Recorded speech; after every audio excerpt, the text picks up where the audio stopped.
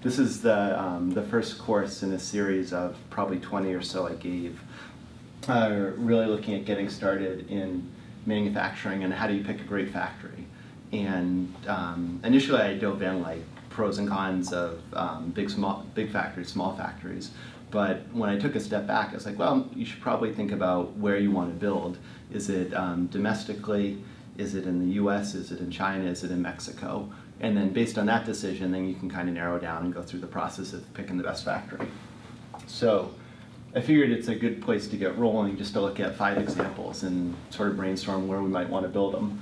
So we've got the Roomba, Goop in a bottle, um, a yoga chair from Olin, which is pretty cool, a pair of jeans, and then a military robot. And just kind of walking through it. So this is a Roomba, it's a high volume consumer product. Uh, sort of, when we think about that, the first thing that pops out is it's probably pretty labor intensive. And most people would think of China as a great low cost labor base, which is definitely one of the selling points. It's a lot more interesting than that, but sort of off the bat, it's like, all right, maybe that one would make sense in China. So that one's kind of an easy one. This one's a little bit more complex. Um, so it's super high volume. Um, you've got a blow molded bottle with, uh, with goop inside it. Um, and on first pass, you know, high volume, maybe it makes sense to do it overseas. But as you think about it a little bit more, and if you go in your shower and look, you'll see actually all of them are made in the US um, because it's totally automated. So labor is not a factor at all. You just want to minimize the shipping cost. Um, and also controlling the quality. There's all sorts of great stories about how the quality drifts overseas, particularly for things like this. Um, in fact, at, at, the end of this, I have some references, and one of them is poorly made in China, and it has all sorts of like horror stories of things going terribly sideways. Uh, this one is a yoga chair, so sort of yay big, that one of the first um, classes of Olin came up with. Um, and that one's kind of an interesting one in that you've got a bunch of injection molded parts and then some cut and sew. So for this, it, it could actually go either way. Um, for a low volume, you might want to build it domestically. For high volume, then potentially thinking about Asia due to the the labor. For clothing, um, usually you're looking for the highest margins or lowest cost, and they're pretty, um, pretty labor intensive. So for those, actually, China is too expensive. You might want to go to Bangladesh or Vietnam or someplace like that. And then for a military robot, um, just due to ITAR, you, it's pretty obvious that's going to end up in the U.S. Um, but it's super important before you start figuring out, you know, what factory should I pick? You know, where should my factory be located? And what I've done here is basically broken it down into two main um, categories. One is China, and then the other is the US. Um, I had mentioned in the beginning thinking about domestic, and that's, uh, suppose you were based in the UK, then you'd really want to consider, say, the UK versus China or the UK versus Mexico, because there's a lot of advantages, as we'll talk about, to having your factory right next to you. Um, but anyhow, we'll, we'll start with China. Um, typically you think if your product is cost sensitive, or we use the word COGS, cost of goods sold, then it may make sense. For military products, it's not like who cares about the cost. Um, it's not the main objective. And I should always say that in our world, we think of cost, quality, and schedule, and trying to figure out the balance of automating or of optimizing. So pick two. Yeah, you get to pick two. That's right. Although in consumer electronics, it's you always want to control all three, but you, you, you can't. Um, so in general, if you think it may be cost sensitive, China may make sense. As we were just talking about, labor is a key component, um, and uh, labor and volume. The kind of the rough rule of thumb we have is if you want to build more than 10,000 units, then China um, makes sense. If you want to build less than that, then you look at other, um, other manufacturing bases. And the reason for that is that the factories make their money by charging a percentage of the cost of goods sold. So let's say your product cost a dollar. The factory may charge 15% of that. So if you're only building 10 units, they're not going to make any money, and it's not interesting to them at all. But if you're building, you know, hundreds of thousands of units, then it definitely adds up, and it, it makes business sense for them. And that 10,000, is that annual volume? That's what we look at is the first, at least the first run. Um, and it depends on the factory, which we'll get into as we talk about picking a factory, um, on the size of the factory. Some of the bigger ones have um, requirements that they want to see a million dollars of revenue the first year, um, then two million the next year, and so on. And if you don't fit that, then it's not a good fit. For many of the smaller ones, say like a local Chinese owned one, then it's more the volume and they can work at smaller runs. Um, another reason we look at this is the idea of minimum order quantity, or MOQ. And the example I'll use here is if you want to buy five beers for some reason, it's probably cheaper to buy a six pack, and then of course you drink the other one anyhow, um, than, than buying five individual beers. In the same sense, when you buy components for an SMT machine, which it does the pick and place to populate your boards, you um, typically will buy those in MOQs of 5,000 units. So if you want to build 3,000, you're left with uh, 2,000 overage and you lose all your cost advantage. Um, and we're definitely seeing that, that number go up. And there's certainly a trend in China these days towards much more automation. Um, but, uh, but it did start out, you know, pretty simple, arbor presses, screw guns. Sometimes we'd see them do a cowboy style with one in each hand, um, so you can go twice as fast. But pretty simple, um, simple tasks. And those are super handy in that it's really easy to reconfigure. Like if you think about what you get, um, right now we're seeing, say, the labor rate's about $4 an hour across most of the, or many of the factories we work with. If you think of hiring like 10 uh, or eight fingers and two thumbs plus a, a full vision system for $4 an hour, like that's insane what we can do. Like, you know, I can do this all day long, whereas if I think, you know, based on our heritage of iRobot, what it would take to design a robot to be able to do that, you know, depending on how the beer can's positioned or what the light is or where I'm standing, much, much more challenging. And then if I change the project, so I'm not using a beer can, I'm using a thing of orange juice, you know, that's a lot of work to reprogram the robot. But the capability you get from a human for that rate is just insane. Um, so it, it's good for that sort of um, growing, growing volume one of the key things, and this is a hard-earned lesson uh, that we got from iRobot, is that you want to use existing technology. So when we were designing the Scooba, we um, were doing this tank, which was a mix, it was basically a two-section tank, a clean fluid and a dirty fluid. And we decided we were going to use a laser welder because lasers are cool. Uh, it's like, wow, this is an awesome thing to do. So we designed this really complex part uh, worked with a great company in New York, um, which is, there, in the factory we were working, there wasn't any laser welders. So we worked with them to put together this laser welder, which is like a half million dollar machine. And then we, um, I think we flew it over to China, which cost a huge amount of money. It plunked down, and then we started running the thing, and it didn't work at all. Like we just couldn't melt the plastic. You're like, ah, this is seriously not good. Um, and we worked at it for days and days, and during this time, you know, we're running totally behind schedule because everything has to be laser welded. And eventually we ended up having one of the engineers from the company that built it get on the plane, fly over and look at it. And what we realized is it was an ecosystem of eight different electrical components, all running on, um, on US voltage that had been converted to Chinese voltage because they're different, except they forgot to convert one of them. Um, so it took like an insane amount of money and time to figure this thing out, totally backed up the schedule. Eventually we got it working, but we realized if that machine ever broke, and we were kind of dependent on this as we were getting ready to go public, the whole line would shut down and we're dead in the water. So we ended up buying hundreds of thousands of dollars of spare parts, of spare laser heads, and just everything to have it in stock, so just to ensure that this machine didn't break. The alternate way to design this product would have been what we call glue and screw, which is, you know, maybe it's a CNC um, glue application device and a bunch of screws. Super robust, not the sexiest thing in the world, but man, it's not going to break you know, um, anybody can fix it. Yeah. So really sticking with stuff that already exists in your factory. This is just a picture of an injection, pretty big injection molding machine. Like China has that down cold. Um, so you want to stay with what you know. You also, given the fact that China is just so unbelievably far away, it's halfway around the world, that you want to have a product that is robust to a longer supply chain. So if you need to be able to fulfill an order, um, like if you order something and need it the next day, it's going to be very difficult to do that from China, or very expensive. Whereas typically the shipping time is uh, four to five weeks sitting on the water. Um, and it's relatively inexpensive for small products. Um, you know, in a 40-foot HQ container, you'll fit about 5,000 Roombas. Uh, it's a $5,000 to move the can, so about a dollar a Roomba. So not the, not the end of the world, um, but it, it does take five weeks. What we also find in China is there's just amazing domain knowledge on design for manufacturing, assembly, uh, molding, and things like this. Um, and you can get it for a remarkably cost-effective price. The great thing about having the factory do this work up front is, by definition, they have to be able to build it. Um, they can't point the finger and say, well, it just wasn't done right, we can't build this. There's a lot of accountability that goes with it. Um, so for this reason, we often advise our clients not to put in drafts or rounds, um, on their molded parts, but just get it um, straight walls and then work with a great factory that can do that because it's much more cost effective. It's a big deal.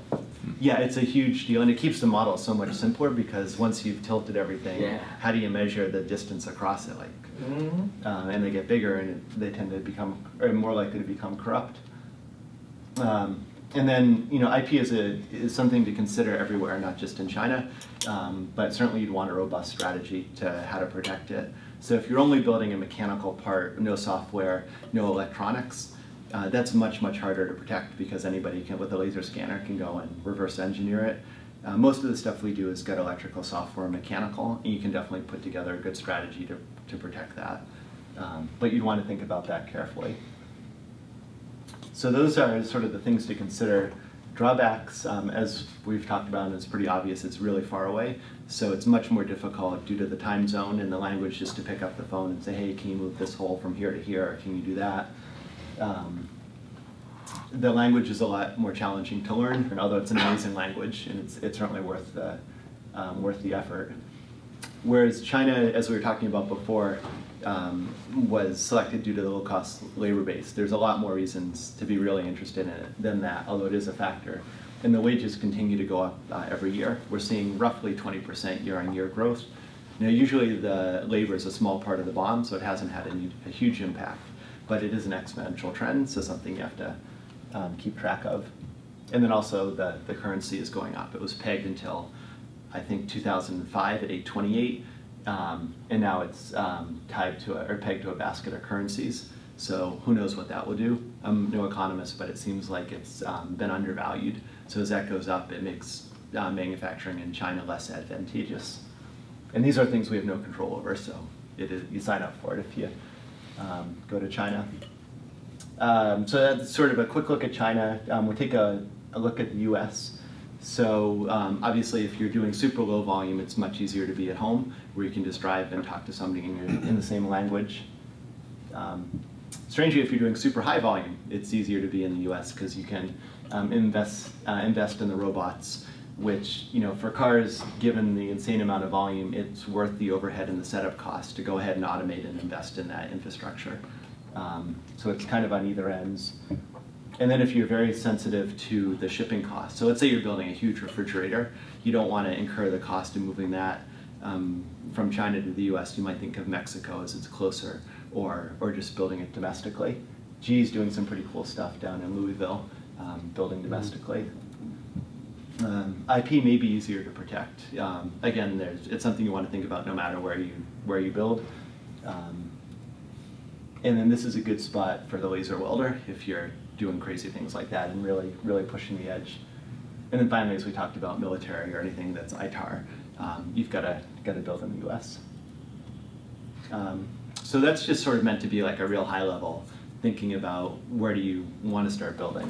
What we'll focus here on is how do you actually um, pick a great factory, and we call this the request for quote or RFQ process.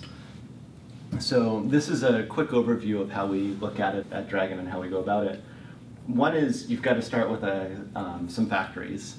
And you could look at Alibaba, but we definitely don't recommend that because it's totally embedded and you never know what you're going to get. Um, the best thing to do is to talk to people in your network that have built product before and just ask them, hey, what factories did you use? What was your experience? And at Dragon, we're always happy to help, you know, give you a starting list and, and um, debate the pros and cons of each one. Ideally, you'll get about 10 to, um, 5 to 10 CMs or contract manufacturers. And you do want to have a spread between them. So, and we'll go into more detail in a sec, but maybe some um, Hong Kong owned, Taiwanese owned, local Chinese owned, US owned, big ones, little ones, public ones, private ones, um, so that you do have some different levers to look at. It, it's not all the same thing. And from there, ideally, um, as you sort of whittle down the list, you want to end up with three to five factories that are a good fit. Uh, the reason we pick uh, that number is that with three you get voting. So you know, with two I don't I don't know who my outlier is, but if if I have three, I can say, oh, you know, this one's higher, this one's low. Uh, if you do, uh, the top end is five, um, and the reason we don't go more than that is a you're not being efficient. You know, you're spreading your IP and your effort around more than you need to. Five gives you the ability that if one no bids it or doesn't want to participate, you still um, have the right to get, you can still get voting out of it. Um, so you go and pick your factories, You'll uh, generate an RFQ package, which I'll walk you through. The next step is super important. You actually want to um, have feet on the ground and go visit the factory, no matter where it is, US, China, Mexico, it doesn't matter. Um, but you want to look the people in the eyes that are building your product, um, and everything is relationship based. Um, start, start to get to know them. You'll send over the RFQ package. Um, they'll um, look at it as, while you're visiting. You can answer any questions back and forth and then um, they'll eventually give you their, um, their analysis of it. So this is what we think the bill of materials is, the schedule, and so on. They'll look at in the sec, analyze the results, figure out what the big levers are. So you don't want to go into the minutia of debating, say, the cost of a tenth of a penny resistor. Who cares? But focus on the bigger things like the margins and so on that are going to have a bigger impact and are easier to negotiate before you've signed the contract than, than after. Uh, once you've starting to narrow it down, then it's a really good idea to talk to the customers of the factory just to get their relationship because things do change after you after you've signed on the dotted line, and you want to make sure that the factory you know still is a good one. Uh, and then after you've um, got that, you should be able to pick a winner. Um, spend some time letting the ones that weren't awarded the project know that they did, you know, you really appreciate their effort because often the factories will put a huge amount of effort into it and you want to leave them on good terms what um, likely will happen if all goes well is your volume will take off like crazy and you want to add additional suppliers. So being able to go back to them and say, hey, we didn't award it to you on the first one, but we'd like you to participate as we expand um, is super important. and it's a small world, so you want to leave everything on good terms. Here's a snapshot of the three parts of the RFQ. The first one is typically a Word document, and the way we look at factories is they're a lot like VCs or investors. They've got limited resources in terms of money, people, and, um, and effort. And they want to back companies that are going to jump into very high volume, so they've got to be super high potential. You always want to be very truthful um, in terms of the information you provide, but you also want to get them excited about your business and show them the potential that, wow, this thing really could be the next iRobot and, and take off like crazy. So we spend a lot of time talking about the team, uh, management bios, if they're serial entrepreneurs or what else have they done, so that they're uniquely situated to make their company a success. Uh, we talk about the product, what's done, what's not done, uh, what we're looking for in a factory, and, um, and how they can help. Uh, so that's on the, the first Word document. We find ours usually are 20 to 30 pages, so it's pretty thorough, so they have a good picture of what you're trying to do. Know, it's always a balance of you don't want to tell them how to build the thing, um, but you have to give them enough information to get excited. Um, so that's kind of the art of it. The second one is a bill of materials, which is basically the ingredients to go build your product. And here it's a balance, again, of um, not giving too much info, but providing enough to get an accurate quote. And there's a couple of techniques here. Uh, one is you want to provide it in a fill in the blanks format because if you let them all provide their own bill of materials, it's impossible to compare apples to apples. They're all going to break it down differently and it's really difficult to tease it out. Whereas if you spend the time to uh, basically get it ready for them, it's much easier to do your apples to apples analysis at the end. Uh, you want to get it as transparent and formula driven as possible. So if we were building, a, say, a pebble, um, it's useless to me to know a cost. Let's pick an outrageous number, $500. Um, you know, I don't know where the money's flowing. What I'd want to do is know how much does each, each individual piece of plastic cost, how much do the screws cost, how much is the labor, uh, how much is the deco, everything, you know, down to the smallest amount, and have it all formula driven. Uh, so that I can do an experiment and say, well, if I make it out of polycarbonate instead of ABS, what impact is, is that on the price? Whereas if I just got, you know, it's a $500 watch, which I'm making an artificially high number, um, I, it doesn't tell me anything useful. Um, so break it down, and we usually bring it to what's called Ex Factory, which is when the product's sitting on a loading dock. You could also do it landed in the US or um, any other number of spots along the way, but that makes it really easy to compare. And it should all be fill in the blanks. Third part is a schedule, and it's a standard Gantt chart with the durations between the major milestones. Uh, so those are the three parts of the RFQ package. RFQ package. These are some um, items to look at as you visit the, the factory. And I won't go over all of them, um, but a few is um, everything is relationship based. So really meeting the team, um, getting access to the engineering team and the management team, and making sure that they're, as you look in their eyes, that they're really excited about what you're doing and ready to be a long-term partner for you. Um, always looking to make sure it's a safe um, workspace, the workers are well taken care of, and are treated ethically um, is super uh, important. One, it's the right thing to do. And then two, uh, from a business standpoint, the Chinese government will absolutely shut down a factory that's not safe. And if they shut down your factory, you're out of luck. Um, so it, it's a massive disruption to your supply chain. And you don't want to be in the New York Times in the wrong way. So it's important to look at that uh, really critically. Few other things to look at, you know, are they financially stable? So when you're running manufacturing, you have to buy a lot of um, uh, raw goods and components up front, which, which costs money can they, uh, do they have the working capital to afford that? Um, or are they going to be short and that's going to prevent you from growing as quickly as you want to? Are they public or private? Uh, in China, they call it listed, and that might impact, you know, are they managing to the quarters and are they playing games? Or if they're private, it doesn't matter, um, but they may not have, they may not have as much capital. How open are they to sharing their financial situation? They're usually they'll, they'll share what's called their turnover or their annual revenue, and that's a good gauge of how big they are. Um, they'll probably never share anything in the bottom of the spreadsheet. It's only only the top line stuff. And then if they're public, of course, you can get more more info. We typically work with a blend of both public and private. Um, usually Hong Kong or Taiwanese owned. Sometimes for simpler things, local Chinese owned. Um, where if you find a great factory, you can get amazing results for very cost competitive prices. But you do have to. Um, usually they don't speak English, so you have to you have to know how to handle it. Um, one we always like to look at is, or I should say we take very seriously, is their IP. So if they give you the tour and say, oh, we, we don't really show anybody else this, but here, take a look behind this curtain and check out this cool stuff, because they're obviously trying to get your business and they know it. But you know if they do it for you, whenever you're running a line, they're going to show the next guy what you're working on. So that's an instant disqualification.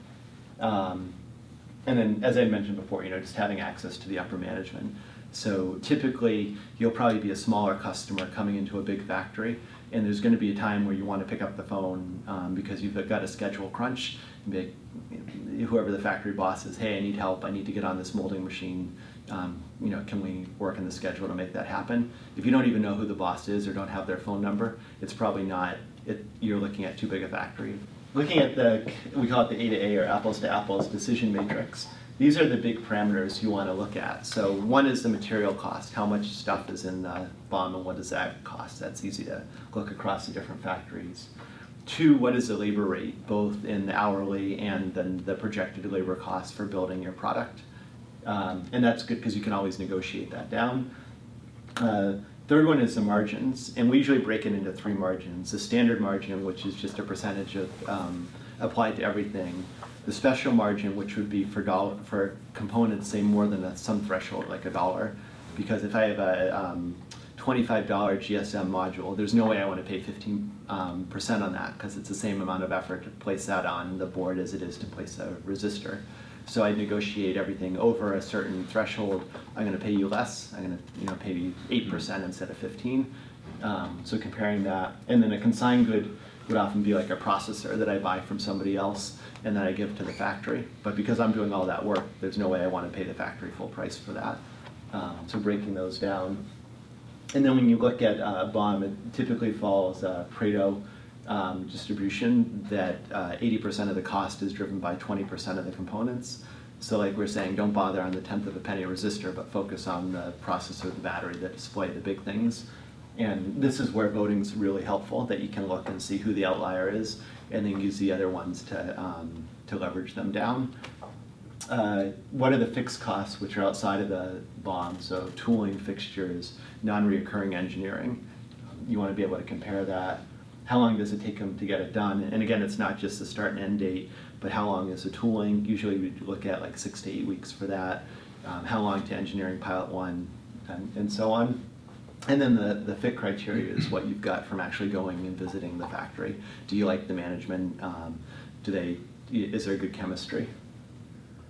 So that's uh, basically just an overview of how we go about um, picking factories. These are three books that uh, are always a good read. The first one is by a Wall Street Journal reporter who was really interested in the life of a factory worker, and even more than that, like um, both the big picture and their day-to-day -day stuff. And China's got the biggest migrant workforce in the world. Like many of the workers come from the north and go to the south. And it's actually a, um, it's a really fascinating topic, which I won't get into here, but I highly recommend that. Poorly Made in China is more of a humorous look, and it does talk about trying to build shampoo in China and how the formula drifts all over the place. Um, so you um, get a chuckle out of that. And then Mr. China is a real old school one from probably around 2000, well before Chinese manufacturing. Like it was back when you were doing it, totally different experience and what, what that looked like.